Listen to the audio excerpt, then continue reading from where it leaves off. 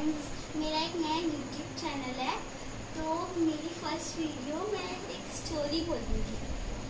एक राजा होता है, उसकी आँख होती एक टांग होती उसने ना अपने पेंटर्स को कहा कि मेरी एक फ़ोटो बनाओ। तो पेंटर्स ने सोचा कि हम इसे कैसे बनाएँ?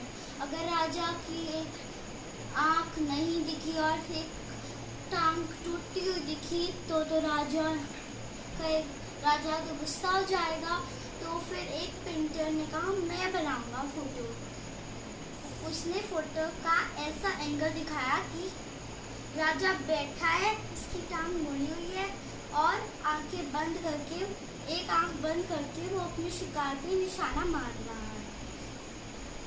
फिर सारे हैरान हो जाते हैं और राजा उसको इनाम दिलवाता है। थैंक यू आप इस वीडियो को लाइक कीजिए। सेवेंटी थाउज़ेंड लाइक तक पहुँचा दीजिए सब्सक्राइब कीजिए एंड शेयर कीजिए, जिस बच्चे को स्टोरी नहीं आती।